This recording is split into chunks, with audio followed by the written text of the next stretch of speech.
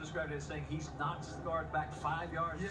He said the ball could be right next to him and he didn't know it. But this year he does know it, and he just made a really, really big play. And Uh, flag is down on the punt.